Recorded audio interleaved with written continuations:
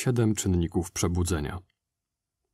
W poniższym zestawieniu przeanalizowano siedem czynników prowadzących do przebudzenia.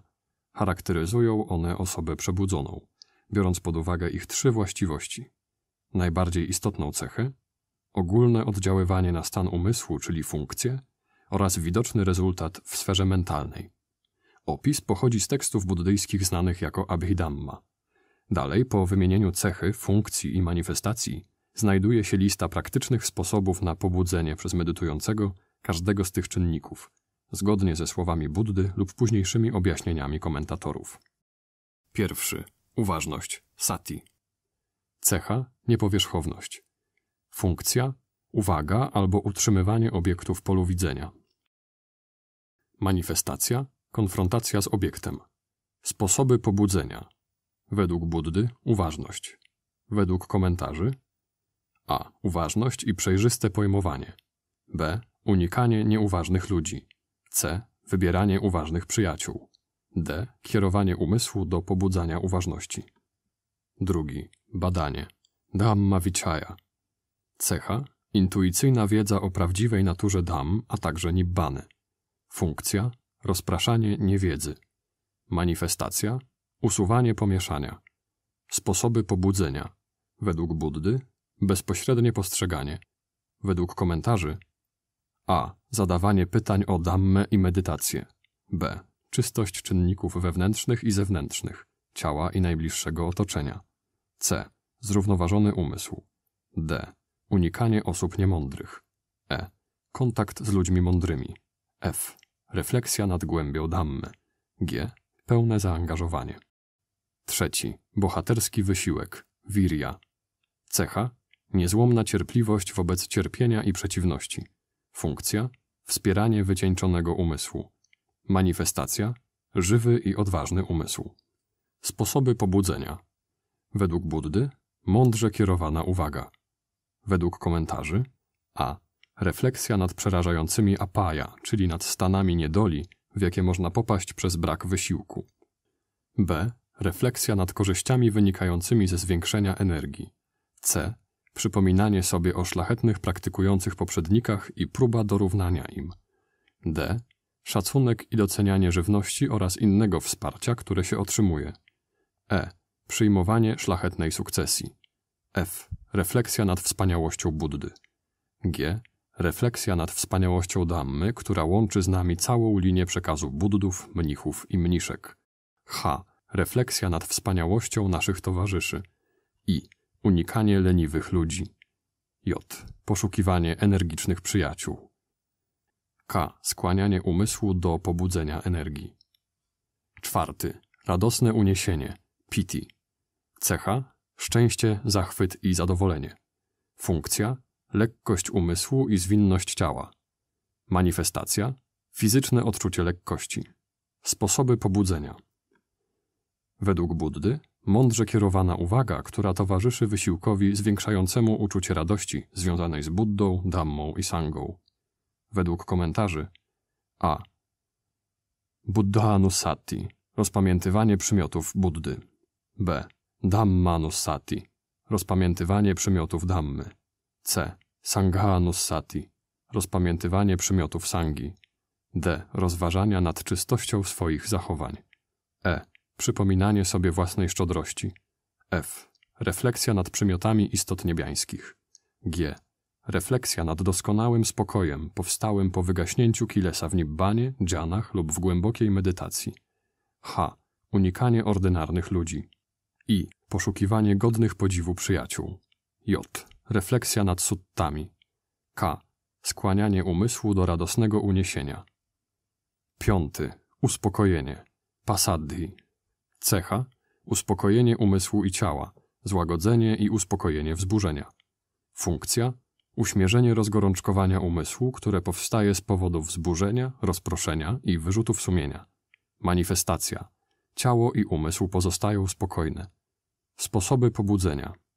Według Buddy mądrze kierowana uwaga wzbudzająca pozytywne stany umysłu, w szczególności stany medytacyjne, dzięki którym pojawia się wyciszenie i radosne uniesienie według komentarzy a. Właściwe odżywianie się b. Odpowiednie warunki klimatyczne. C. Wygodna pozycja. D. Utrzymywanie równomiernego wysiłku w praktyce. E. Unikanie ludzi nerwowych, szorstkich i okrutnych. F. Obcowanie z ludźmi łagodnymi i delikatnymi. G. Skłanianie umysłu do spokoju. Szósty. Skupienie, samadhi. Cecha, nieporuszenie. Funkcja, skupienie umysłu. Manifestacja, spokój i bezruch. Sposoby pobudzenia. Według Buddy ciągła, mądrze kierowana uwaga, której celem jest wykształcenie skupienia. Według komentarzy a. Czystość czynników wewnętrznych i zewnętrznych, czystość ciała i najbliższego otoczenia. b. Zrównoważenie zdolności wzmacniających. c. Umiejętne skupianie się na obiekcie obserwacji w praktyce dziany. d. Dodawanie otuchy zniechęconemu umysłowi. e. Uspokajanie umysłu ogarniętego nadmiernym entuzjazmem. f. Dodawanie otuchy umysłowi dotkniętemu bólem. G. Ciągła, zrównoważona przytomność. H. Unikanie ludzi rozkojarzonych. I. Wybieranie przyjaciół, którzy są skupieni. J. Refleksja nad spokojem wchłonięć medytacyjnych. K. Skłanianie umysłu do skupienia. Siódmy. Zrównoważenie. Upekha. Cecha. Równoważenie przeciwstawnych stanów umysłu. Funkcja. Uzupełnianie w wypadku braku oraz redukowanie w wypadku nadmiaru. Manifestacja. Stan wygody i równowagi. Sposoby pobudzenia. Według Buddy. Mądrze kierowana uwaga, to znaczy bycie nieustannie uważnym w każdej chwili, bez przerwy, z intencją osiągnięcia zrównoważenia. Według komentarzy a. Zrównoważona postawa wobec wszystkich żyjących istot. Brak przywiązania do jakiejkolwiek. b. Zrównoważona postawa wobec przedmiotów nieożywionych, takich jak posiadane dobra. c. Unikanie ludzi chciwych, czy też w inny sposób niezrównoważonych. d. Obcowanie z tymi, którzy nie są za bardzo przywiązani do istot czy dóbr i którzy w innych sferach również wykazują zrównoważenie. E. Skłanianie umysłu ku rozwijaniu zrównoważenia. Przeszkody i sposoby ich przezwyciężania. Skoncentrowany umysł charakteryzuje się czynnikami przeciwdziałającymi dokuczliwym stanom, które go opanowują. Poniżej elementy pierwszej dziany, stanu skupienia oraz przeszkody, które są przez nią przezwyciężane. Czynnik dziany, witakka, nakierowywanie na cel, przezwyciężane, thinamidha, ociężałość i ospałość. Czynnik dziany, wichara, ciągła uwaga, wnikanie w obiekt. Przezwyciężane, vicikiccia, zwątpienie. Czynnik dziany, piti, radosne uniesienie. Przezwyciężane, vyapada, niechęć. Czynnik dziany, sukha, szczęście i błogość. Przezwyciężane, udhaccia kukuccia, niezrównoważenie i zaniepokojenie. Czynnik dziany, ekagatta, jednopunktowość. Przezwyciężane, kamma chanda, pragnienie przyjemności zmysłowych. Pogłębianie wglądu. Kiedy jogini praktykują vipassanę pod kierunkiem wykwalifikowanego nauczyciela, zaczynają postrzegać różne prawdy o rzeczywistości, niedostępne zwykłej świadomości. Te wglądy medytacyjne pojawiają się zwykle w określonym porządku, niezależnie od osobowości czy poziomu inteligencji. Pogłębiają się sukcesywnie wraz z pogłębianiem się poziomu skupienia i czystości umysłu, co jest skutkiem właściwej medytacji. Poniższą listę rozpoczyna zdecydowane ostrzeżenie. Jeśli praktykujesz medytację, nie myśl o postępie. Nawet najbardziej doświadczony adept medytacji nie jest w stanie ocenić swojej praktyki. Wyłącznie nauczyciel, po własnym treningu i po zdobyciu dużego osobistego doświadczenia, może rozpoznać subtelne oznaki tego postępu u innych medytujących, na podstawie ich relacji. Pierwszy. Wgląd w zespolenie umysłu i materii. Namarupa parichedanyana. Jest to zdolność rozróżniania między obserwującym umysłem a materią, przedmiotem świadomości. Może się pojawić dzięki dostrzeżeniu, że doświadczenie składa się w stu procentach z umysłu i materii. Ten wgląd tymczasowo usuwa błędny pogląd o istnieniu duszy, ja lub jaźni, niezależnych od umysłu i materii. Kiedy podtrzymywana jest uważność, wątpienie w dhammę jest nieobecne. Drugi. Wgląd w przyczynę i skutek. Paccaya parigahanyana. Bezpośrednie pojmowanie związku przyczynowo-skutkowego umysłu i materii. Dla przykładu, gdy po intencji mentalnej pojawiają się doznania fizyczne, intuicyjnie rozpoznaje się związek przyczynowo-skutkowy. Podobnie jest, gdy bolesne odczucie powoduje chęć poruszenia się. Wgląd ten pojawia się dzięki dostrzeżeniu, że istnieją jedynie umysł i materia i że są to elementy wzajemnie przyczyniające się do swego powstawania. Usuwa błędny pogląd o istnieniu zewnętrznej siły, odpowiedzialnej za nasze doświadczenia, przez uświadomienie sobie, że istnieje jedynie ciągły łańcuch przyczyn i skutków. Ten wgląd usuwa fałszywe wyobrażenia, że zjawiska pojawiają się w przypadkowy, bezprzyczynowy sposób. Trzeci. Wgląd w nietrwałość, cierpienie i brak istoty. Sammasana jnana. Aniccanupassana jnana dostrzeżenie nietrwałości w nieustannym i nieuchronnym zanikaniu przedmiotów świadomości usuwa fałszywy pogląd o stałości, zmniejsza dumę i zarozumiałość. Dukkhanupassana jnana Dzięki obserwowaniu rozpadających się obiektów, a w szczególności bolesnych doznań, pojawia się zrozumienie cierpienia i braku zaspokojenia oraz dokuczliwości nietrwałości. Pojawia się również świadomość, że nie ma przed tym ucieczki i że niestałość jest przerażająca i niepożądana. Znika fałszywy pogląd, że trwałe zadowolenie można osiągnąć w sferze nietrwałości. Anattanu pasana jnana Zrozumienie, że nie można mieć jakiejkolwiek kontroli nad obiektami nietrwałymi i przynoszącymi ból. Znika złudzenie, że ja lub ktoś inny może zapobiec zanikowi obiektów lub kierować nim, a także fałszywe przekonanie o istnieniu wewnętrznej istoty w umyśle lub w materii. Sammasananyana wiedza potwierdzona zrozumieniem i dotycząca wspólnego występowania trzech cech niestałości, cierpienia i braku istoty jest się wtedy przekonanym, że poznana wcześniej Dhamma jest prawdziwa. Wgląd ten wraz z poprzednimi wglądami jest pełnym rozwinięciem pierwszej dżany vipassany i przebłyskiem właściwego poglądu vipassany, który jest postrzeganiem każdego obiektu i doświadczenia przez pryzmat nietrwałości, cierpienia i braku istoty. Czwarty. Wgląd w pojawianie się i zanikanie. Udaya Bhaya Umysł jasno postrzega błyskawiczne pojawianie się i zanikanie obiektów, to znaczy niezwykle szybki początek i koniec każdego mentalnego czy fizycznego zjawiska.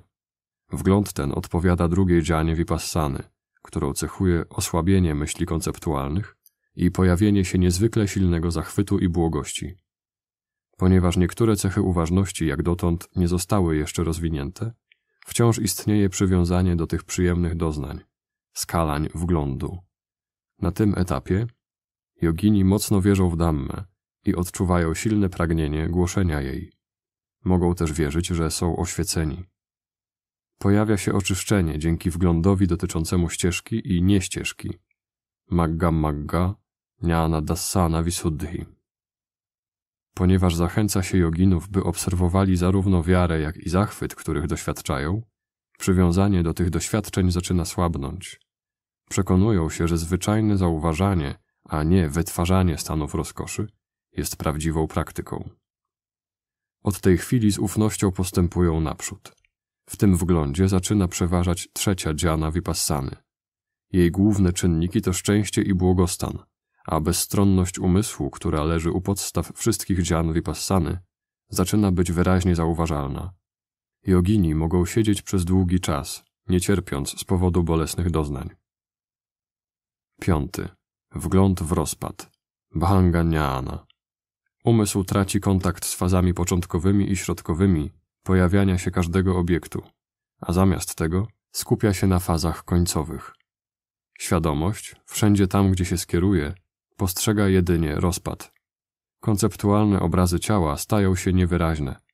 Gdy dojrzewa wgląd w rozpad, w ciele i umyśle zaczyna przeważać uczucie neutralne, ani miłe, ani niemiłe. Umysł jogina może odpocząć, ponieważ tylko chłodno obserwuje rozpad wszelkich zjawisk. Wgląd ten jest wstępem do czwartej dżany vipassany. Czynniki szczęścia i błogości zanikają i zaczyna przeważać bezstronność umysłu. W momentach wglądu czy bezpośredniej świadomości nie pojawiają się już myśli. Szósty. Wgląd w lęk. Bhayatupathana Jnana. Postrzeganie przerażającego charakteru wszelkich zjawisk. Siódmy. Wgląd w niedolę. Adina Vanyana. Postrzeganie nędznej natury zjawisk, pełnej niedoli i krzywdy. Ósmy. Wgląd w obrzydliwość. Nibidda Jnana. Postrzeganie obrzydliwej natury zjawisk, rozkładu i rozpadania się. Dziewiąty. Wgląd w pragnienie wyzwolenia. Munchitukama Jnana. Pojawienie się silnego impulsu, by kontynuować praktykę, aż do ustania wszelkich niezadowalających zjawisk. Dziesiąty. Wgląd w refleksję nad przypominaniem. Patisankhanu passana jnana. Jedenasty. Wgląd w bezstronność umysłu wobec wszystkich wytworzeń. Sankharu pekkanyana. Ten wgląd dotyczy równowagi, która powstaje, gdy uważność jest tak precyzyjna, że chwyta obiekt, zanim przyjemność lub nieprzyjemność zdążą poruszyć umysł. W braku reagowania pojawia się poczucie stabilności i spokoju. Praktykujący doświadczają wyciszonego umysłu, podobnego do umysłu arahanta, doskonale oczyszczonej, przebudzonej istoty. To właśnie w tym stanie najwyższej równowagi umysł może przeniknąć do spokoju nibbany. Wgląd w nibbanę, szczęście spokoju. Mentalne i fizyczne zjawiska zatrzymują się. Pojawiają się świadomości ścieżki i owocu, nibbana, świadomość zwrotna. Jest to doświadczenie nazywane przebudzeniem i nieodwracalnie zmienia praktykującego. Według Buddy są cztery poziomy przebudzenia. Poszczególne poziomy osiąga się po urzeczywistnieniu cyklu wglądów opisanych powyżej.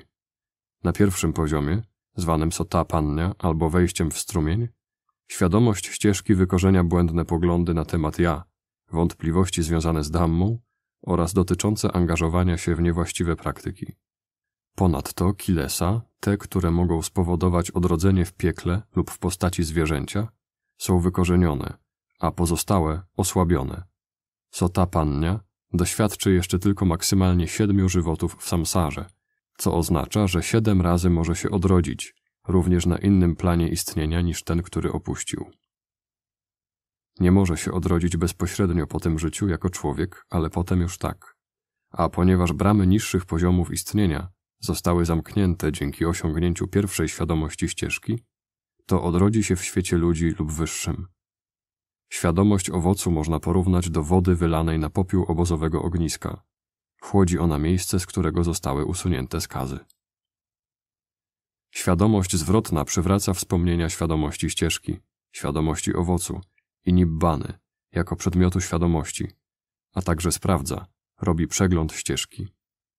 Uświadamiamy sobie wtedy, że nasza praca oczyszczenia w pewien sposób dopiero się zaczęła, ponieważ ciągle istnieją pozostałe kilesa, które będą nam doskwierać.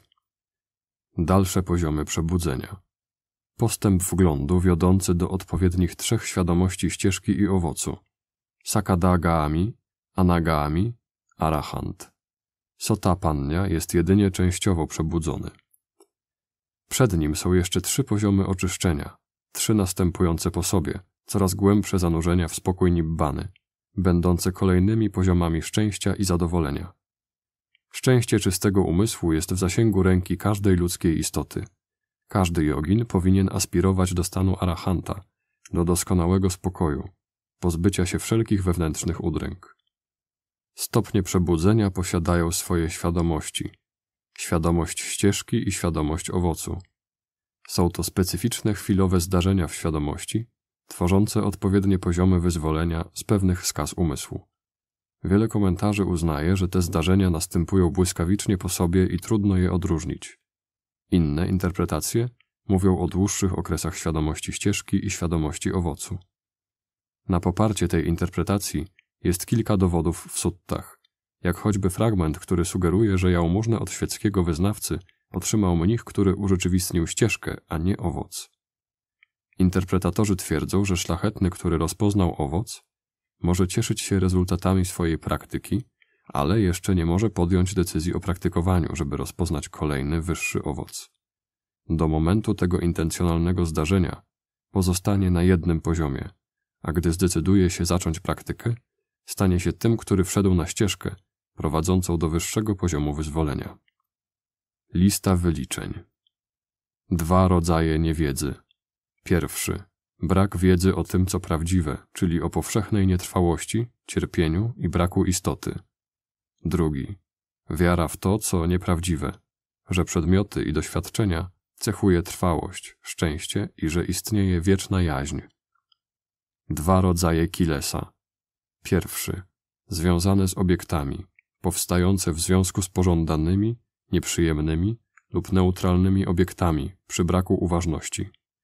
Drugi, związane z ciągłością egzystencji, pozostające w uśpieniu, wykorzeniane przez odpowiednią świadomość ścieżki. Dwa rodzaje rzadkich, cenionych ludzi na tym świecie. Pierwszy dobroczyńcy. Drugi ludzie wdzięczni, pamiętający o dobru, które otrzymali i odwdzięczający się za nie, gdy tylko to możliwe. Dwa rodzaje ostatecznych rzeczywistości. Pierwszy uwarunkowane ostateczne rzeczywistości. Paramatha Dhamma, Sankhata Paramatha Dhamma. Drugi nieuwarunkowana ostateczna rzeczywistość. Asankhata Paramatha Dhamma, Nibbana. Dwie główne słabości istot.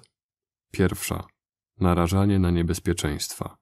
Druga niemożność prawdziwego posiadania czegokolwiek. Trzy zastępy dziewiątej armii Mary. Pierwszy materialna korzyść w postaci darów wyznawców. Drugi szacunek wiernych. Trzeci sława i uznanie. Trzy cechy wszelkich zjawisk. Pierwsza nietrwałość, aniccia. Druga cierpienie, dukkha. Trzecia brak trwałej istoty, anatta. Trzy wielkie osiągnięcia Buddów. Pierwsze przez czynnik przyczyny. Drugie przez czynnik skutku. Trzecie przez czynnik powinności. Trzy kilesa wykorzeniane przez pierwszą świadomość ścieżki. Pierwsza fałszywy pogląd o istnieniu trwałej istoty. Druga wątpliwości związane z Dhammą. Trzecia złudna wiara w wyzwolenie dzięki błędnym praktykom i rytuałom. Trzy rodzaje kilesa. Pierwszy przewinienia. Drugi obsesyjne i utajone. Trzeci uśpione. Trzy rodzaje ostatecznych rzeczywistości. Pierwszy umysł, drugi materia, trzeci nibbana. Trzy rodzaje mocy psychicznych. Pierwszy nadludzkie dokonania fizyczne, drugi czytanie w myślach, trzeci moc nauczania. Trzy rodzaje odosobnienia. Pierwszy odseparowanie od ciała, czyli od obiektów związanych z przyjemnościami zmysłowymi, kaya viveka. Drugi odizolowanie umysłu od przeszkód, które zakłócają rozwój skupienia i wglądu, chitta viveka. Trzeci odseparowanie umysłu od niekorzystnych dam, czyli od wszystkich kilesa, upadhi viveka. Trzy poziomy wysiłku. Pierwszy wstępny, drugi podtrzymywany, trzeci wyzwalający, czasem czwarty spełniający. Trzy samonapędzające się dammy. Pierwsza zarozumiałość, druga błędny pogląd, trzecia pragnienie. Trzyetapowa informacja stosowana podczas opisywania medytacji. Pierwsza pojawienie się obiektu, druga zauważenie obiektu, trzecia. Opis tego, co się stało z obiektem. Trzy rodzaje własności. Pierwszy. Ruchoma, drugi. Nieruchoma, trzeci. Wiedza. Potrójne kształcenie albo trening. Pierwszy. Moralność, sila, drugi. Skupienie, samadhi, trzeci. Mądrość, pania. Potrójny klejnot. Pierwszy Buddha, drugi Dhamma, trzeci Sangha. Cztery podstawy uważności. Pierwsza ciało, druga doznania, trzecia umysł, czwarta zjawiska umysłu. Cztery rodzaje szczęścia związane z pierwszymi czterema dzianami vipassany. Pierwszy szczęście odosobnienia, pierwsza dziana. Drugi szczęście skupienia prowadzące do radosnego uniesienia i błogości, druga dziana. Trzeci szczęście błogości, trzecia dziana. Czwarty szczęście mądrości, czwarta dziana. Cztery postawy. Pierwsza leżenie, druga siedzenie, trzecia stanie, czwarta chodzenie. Cztery właściwości skłaniające do skutecznej praktyki medytacji. Pierwsza wola, druga zapał, energia, trzecia siła umysłu, czwarta mądrość lub wiedza. Cztery etapy osiągania nibbany. Pierwszy wchodzący w strumień, sotapanya. Drugi raz powracający, sakadagami. Trzeci niepowracający, anagami. Czwarty godny, arahant. Pięć dobrodziejstw medytacji chodzenia. Pierwsze wytrwałość podczas długich wędrówek. Drugie wytrwałość w praktyce medytacji. Trzecie dobre zdrowie. Czwarte lepsze trawienie. Piąte stabilne skupienie. Pięć zdolności wzmacniających. Pierwsza wiara. Druga wysiłek lub energia. Trzecia uważność. Czwarta skupienie. Piąta mądrość. Pięć czynników ośmiorakiej ścieżki, rozwijanych głównie w momentach uważności. Pierwszy właściwy wysiłek. Drugi właściwa uważność. Trzeci właściwe skupienie. Czwarty właściwe nastawienie. Piąty właściwy pogląd. Pięć przeszkód. Pierwsza pragnienie przyjemności zmysłowych. Kama chanda. Druga niechęć. Vyapada. Trzecia ociężałość i ospałość. Thina mindha. Czwarta niezrównoważenie i zaniepokojenie. Udhaccia kukuccia. Piąta zwątpienie. Vicikiccia. Pięć czynników dziany. Pierwszy nakierowywanie na cel. Vitakka. Drugi ciągła uwaga, wnikanie w obiekt. Wicara. Trzeci radosne uniesienie. Piti. Czwarty szczęście i błogość. Sukha. Piąty jednopunktowość. Ekagatta. Pięć rodzajów zwątpienia prowadzących do wzburzenia umysłu. Pierwszy zwątpienie w Buddę, drugi w Dhammę, trzeci w Sangę, czwarty w siebie, piąty zwątpienie w innych. Pięć okowów umysłu. Pierwsza żądze zmysłowe, druga przywiązanie do własnego ciała, trzecia przywiązanie do ciał innych istot, czwarta łakomstwo, piąta pożądanie przyjemności zmysłowych mogących wyniknąć z praktyki medytacyjnej i pojawiających się w przyszłym życiu w sferze subtelnej materii.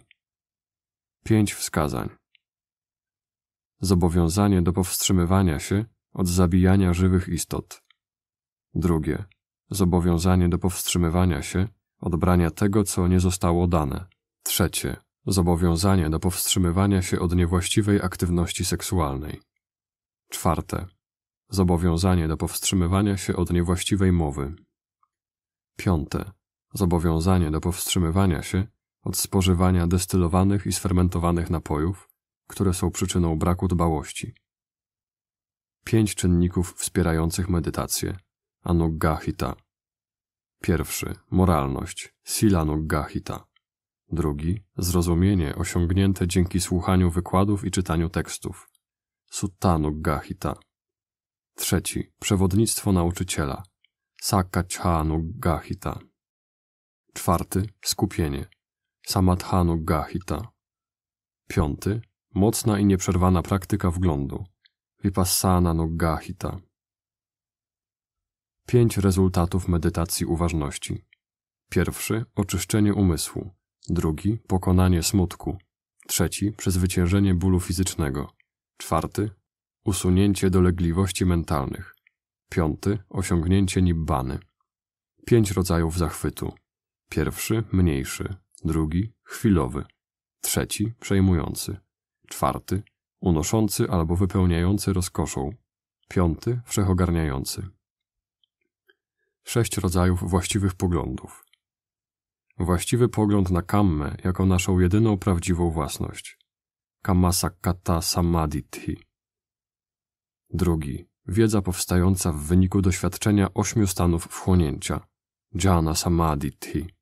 Trzeci, właściwy pogląd na temat powszechnej nietrwałości, cierpienia i braku istoty.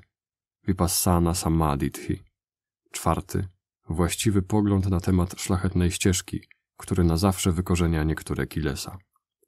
Piąty, właściwy pogląd na temat szlachetnego owocu, który gasi żar pozostały po wypalonych skazach.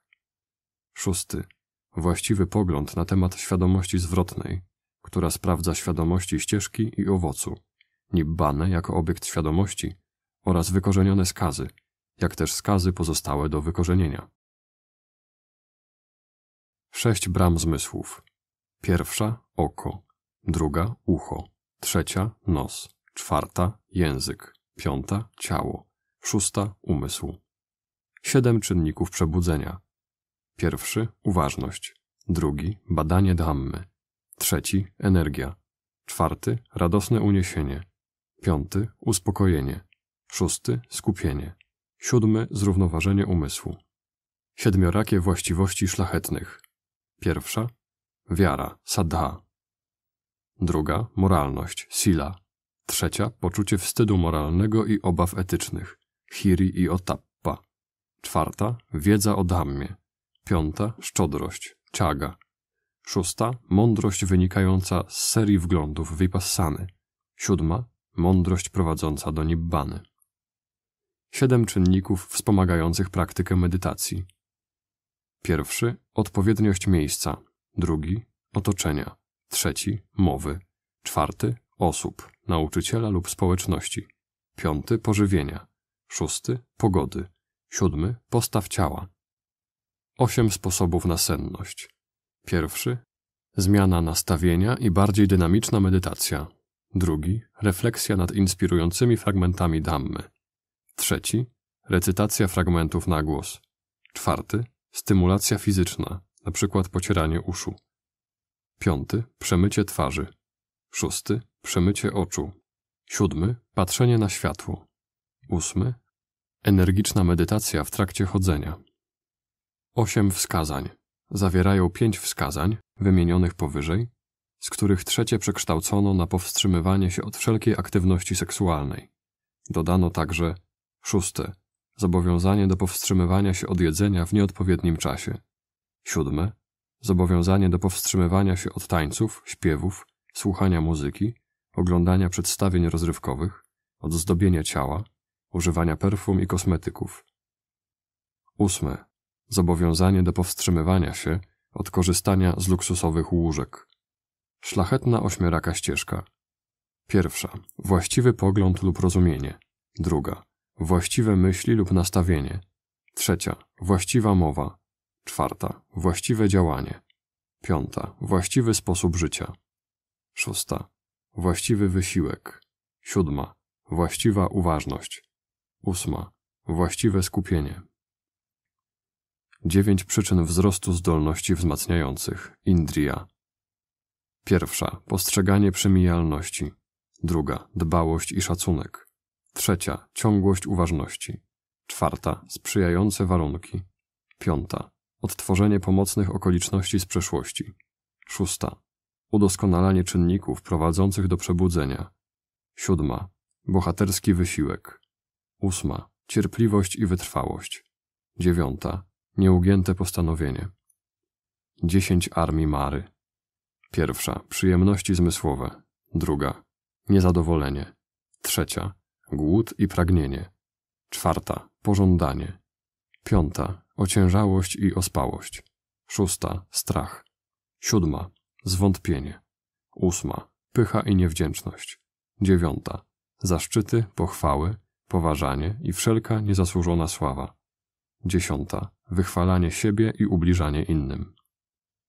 Dziesięć rodzajów występnych uczynków. Trzy rodzaje cielesnych występnych uczynków. Pierwszy. Uczynki spowodowane brakiem miłującej dobroci i współczucia, czyli zabijanie, krzywdzenie innych i dokuczanie innym. Drugi. Wynikające z chciwości, czyli kradzież i zdobywanie cudzej własności w nieuczciwy sposób. Trzeci. Spowodowane rządzą, czyli niewłaściwe prowadzenie się seksualne. Cztery rodzaje występnej mowy. Pierwszy. Kłamstwo. Drugi. Mowa powodująca niezgodę. Trzeci. Mowa raniąca, szorstka, niedelikatna, obsceniczna. Czwarty. Frywolne, bezmyślne, czcze paplanie. Trzy rodzaje występnych uczynków mentalnych. Pierwszy. Myśli o krzywdzeniu siebie i innych. Drugi. Myśli porządliwe. Trzeci. Błędny pogląd na kammę, wskazujący, że nasze działania pozostają bez konsekwencji. Dziesięć wskazań. To osiem wskazań wymienionych powyżej, ale ósme o porzuceniu rozrywek i ozdób podzielone jest na dwa wskazania. Dodano także dziesiąte zobowiązanie do powstrzymywania się od przyjmowania złota i srebra. 227 reguł mnisich, 10 wskazań oraz reguły uzupełniające. Czytał Mieszko Mołczyński.